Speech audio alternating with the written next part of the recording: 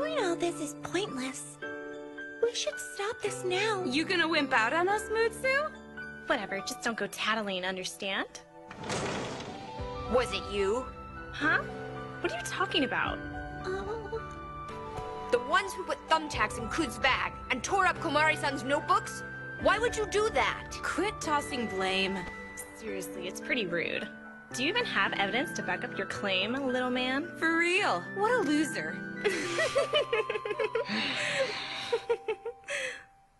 I put thumbtacks in the Russian girl's bag. Oh, good one. why, Nomi-san? Isn't it Kurugaya-san you hate? Petty threats won't work on that pompous ice queen. So we're teaching her little friends a lesson. That if you're friends with Kurugaya, you'll end up getting hurt. She'll be all alone after we're through. I mean,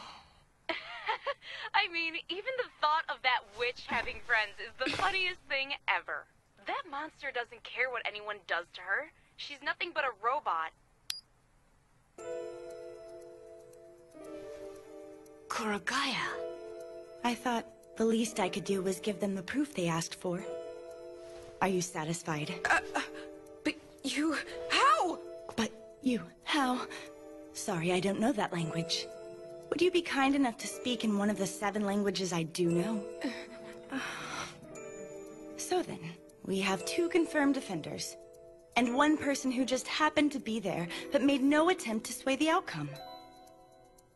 By standing by and doing nothing, you've made yourself culpable. Now, what shall I do with you? Perhaps I should broadcast more than what I just played for you, and let the entire student body hear your conspiracy for itself. So you recorded us? Then you're a criminal! I fail to see how you have any rights that I should bother respecting. I'll never forgive you, understand?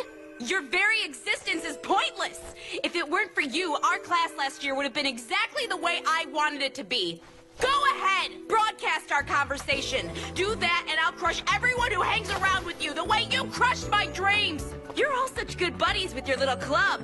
There are plenty of ways to ruin that and I'd enjoy every one of them. I won't stop until your little circle of friends have left you forever!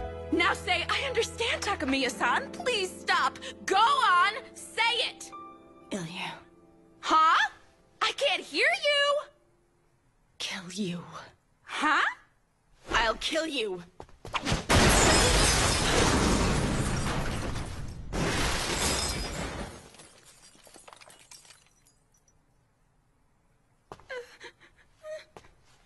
It would take half as long to do the same thing to your face. You'd probably never be able to look at yourself in the mirror again. Heck, the way I'm feeling, I wouldn't mind becoming a murderer.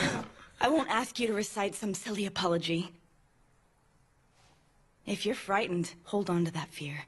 And never mess with me again. Now. Leave!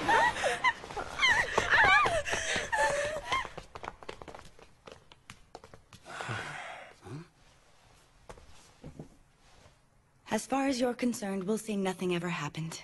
Mess with me again and it's a different story. I'm sorry.